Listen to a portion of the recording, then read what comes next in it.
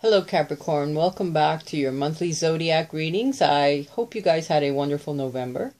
And for those of you that celebrate Thanksgiving, I hope you had a wonderful meal with family, loved ones, friends, neighbors, people that you just met, and you invited them into your home uh, to share a good meal. I know, Capricorn, you guys are always striving to be very financially stable. You're always giving. Thus, the universe is always helping you receive and always enlarging your surroundings, your home, your finances, and the things that you love. You're very prosperous. Um, for this month, I'm going to be offering a couple of decks that I would like to raffle off because I want to give back something to you guys for your support, for your encouragement, for your constant comments, and the love that you guys are pouring out to me. So, in order for you guys to be included in the draw, I would love it if you guys would check out my link below for my tarot blog and uh, take a look around there. I have, um, or I should have a link on the side that works that um, also allows you to befriend me on Facebook. So first of all, I'd like it if you guys would sign up for an email through my tarot blog in case I post something during the year, a couple of newsletters or such, or specials that I may offer, I will send it to you via your email. Then on my Facebook page, I would like you to like my page and also become my friend. In case I post things to my Facebook, you guys are um, always connected to me through my Facebook page. I would love that. Uh, those are the re- re- things that I will require. I have to rewind for you guys to do in order to be part of my draw. I also would love it if you guys would subscribe to my channel, would uh, thumbs up my videos, like my page, share me on Google, and anything you could do to please get me out there. And also below the videos, comment and let me know that you would like to be included into the draw. I will probably pull for one of the decks this weekend on my weekly reading. So stay tuned for that. Also, if you would like a private reading with me, please check my links above. I'm also offering on my Tarot blog, when you click that link down there to sign up for my emails, I have a gift certificate link on there. So if you click that, it'll take you to a page that I have made that has the different um, specials and promotions that I am offering this month for my viewers and the people that I love. So check that out if you're interested. There's also a link there for um, a special that I'm offering on my paintings. What that is, is prints of any of the artwork that I already have. So you might want to check out my link that's usually below my videos for my art site and look around there and see if there's something that you like. I'll, I'll offer a print that I'm going to personalize and send to whoever it is that you want it sent to and I am covering the cost of, of the um, shipping and also the cost of the uh, gift certificate. So any questions on that, I'll be paying that and for you, so don't worry about that. Also, if you are so inclined, you may also want to listen to your rising sign and your moon sign after you listen to your sun sign because sometimes you may resonate with some of the other uh, videos as well because our personalities are comprised of all of the signs, and especially the sign that is rising on the horizon when you're born is how people see you, how they perceive you, what you send out, and also your moon sign, which speaks of your desires, your deepest desires, and your moods. Because the moon changes us every time it moves from sign to sign, it expresses your moods, your rising sign, who you put out to the world, and your sun sign, who you specially are to the world. So, uh, where your gifts lie.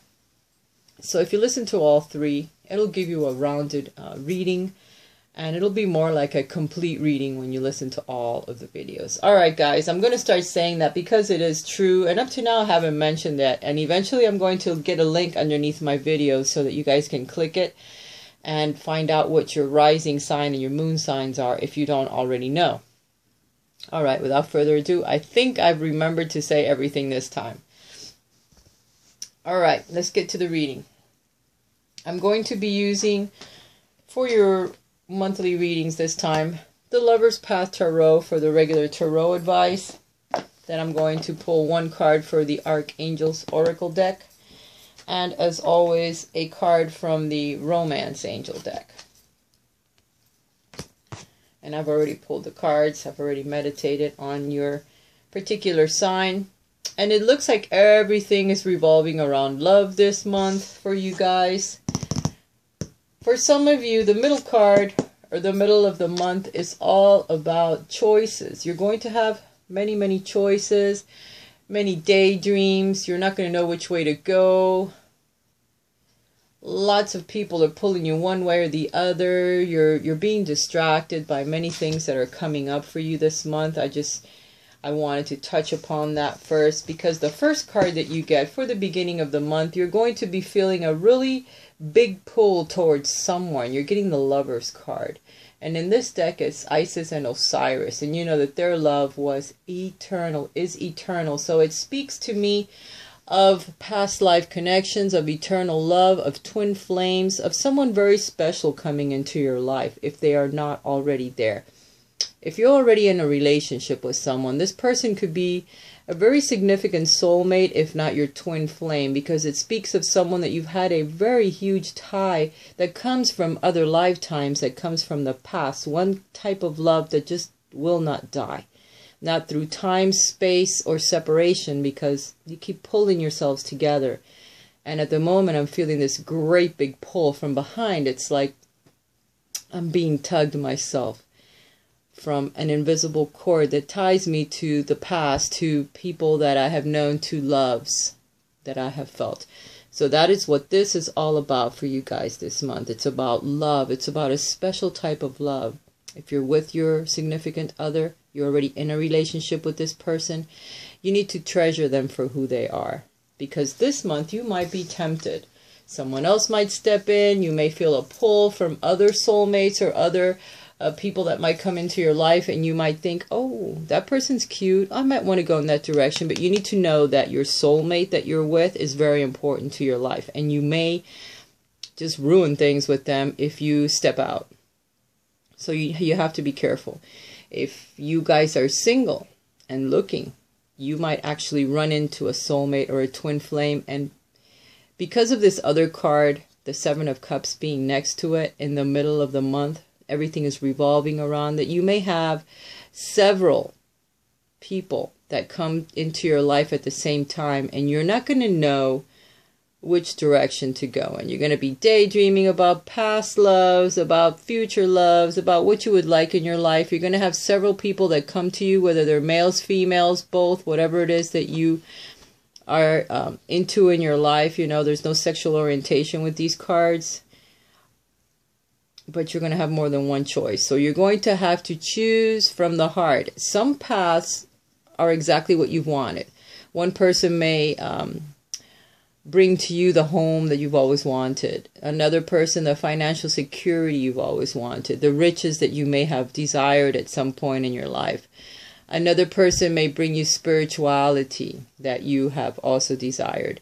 And another person may bring you something very carnal, very um, of the lower vibrations that you may not want, and other choices might be perfect for you, the one that you've been waiting for. But it's going to be tricky this month, so you need to kind of slow down realize which of the thoughts that you're experiencing at the moment are just pipe dreams that are not going to lead anywhere. This is whether you're in a relationship or not. You need to kind of center yourself and realize what is real in your relationship, what you can actually achieve with the person that you are in the situation that you are now. For those of you that are meeting someone now or have met several people, you need to get to know these people before you become entangled with them because while you're over here checking Joe, Johnny might be your soulmate or your twin flame, and you've got your face turned this way looking at one guy while your twin flame is walking past you on beside you because you're focusing on the wrong end of the spectrum. So you need to be careful of who you let grab your attention this month because someone special is coming. So you need to check everyone out, get to know everyone slowly slowly. And don't keep all your attention on one person or in one situation when there could be several that are just as good or just as bad and you need to you need to discern which is the best situation for you. There is going to be some special love that comes to you. This is also the card of the psychic, the card of being connected psychically of through dreams perhaps. Your soulmate is already coming to you. So you already feel the pull, the tug. They talk to you in dreams, you're getting visions or perhaps you're just you got this feeling that something really really significant is coming and yes, it is. Okay, it's the feeling that I'm getting. It's the back of my neck, the hair's raising because I'm speaking something that is going to resonate with somebody that's listening to this video a lot. What they are advising is that you need to be very, very strong. For those of you that are in a relationship, you are with your soulmate already. If you're having situations where you're daydreaming about other people or other people are coming into your life, you need to be careful because you can lose your soulmate, your twin flame. You need to be strong. You need to pull strength from within. Because if you're having a moment of weakness, they're advising that you need to pull strength. Because at this moment, you're going to need it. Because someone from the past as well might entice you. And if you go in that direction, you will, you will um, run into some problems and you may lose the twin flame that you were already with or the soulmate that's very important that you're with now and later on you're going to regret it because of the pipe dreams because of the fantasies that this card will bring you. Okay? You're seeing things in the darkness the the moon is also associated in my mind to this card to the seven of cups. It's very illusionistic. You're you're in an illusion. You're in a in a daze. You're you're dreaming of all these fantasies of all these people that you want to be with that you want to get to know that you want to have a life with. But only one path is real. Only one of those people that you're daydreaming of is going to lead you somewhere. So you need to slow down and look within and work on yourself so that all these fantasies kind of dissipate and you can zero in on the one direction that you do need to go in and be strong about it because you need to pull the strength from within at the moment. If you're single, the same thing applies to you, to both, whether you're in a relationship or whether you're single. At this moment, you're going to have a lot of fantasies going on in your mind, and you need to be strong. You need to center yourself. You need to ground yourself right now because you have uh, many things flying around in your head and they're not all real and they don't lead to God. They don't all lead down to the correct road. So one of them does. The rest of them are just fantasies or they lead to roads that will later close down on you. And you'll regret if you're in a relationship having left the one soulmate you were with for the new one that you just met because sometimes it doesn't work out. Sometimes the soulmates that come into your life that have the biggest pull are karmic soulmates because it's karma that you have from a past life that you need to work through. And sometimes we can't help it, we have to do it. So we will leave the other uh, soulmate in order to hook up with this karmic soulmate that only lasts a month or a week or two days or five seconds. But at that point, you have already closed the door with the other person or they closed the door on you because the pain that you caused them is way too great and you can't go back. So then you have to realize or you have to really think about what you're going to do because you can mess things up with your soulmate, okay? Over one that is just there to destroy your relationship, to end it because it's karmic debt that they you owe them from another lifetime or what have you. Just something that you're going to go through with this person and then it's over. Then they leave. As soon as they come into your life, they're gone because it's just a debt. So be really careful as how you navigate through this month because we're going to have parties, we're going to have invitations, you may meet new people, and one of them might blow you away. Just be strong and remember your soulmate does love you, okay? And they would do it for you, so you need to pay it back.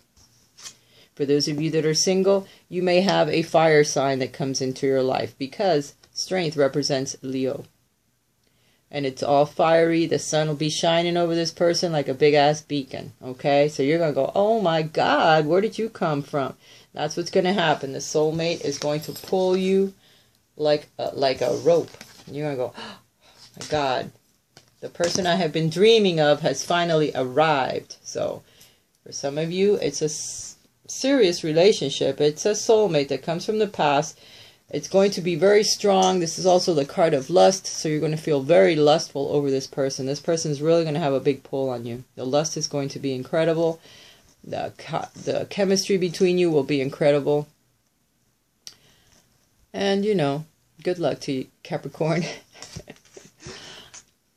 the romance angels are advising you to get to know this person to get to know all the people because you're going to meet more than one this month. Get to know them all, see which one resonates with you the best, okay? And that's the direction you should go in because that'll be the one that pulls you the most, okay? There's going to be one that's going to really attract you, all right? And that you need even if you have to wait for this person because they're busy, they're working, they're studying, whatever the case may be, you might want to wait for the one that's the hardest to get because that would be the one that's the one where the gold lies, the one that, that is the best for you.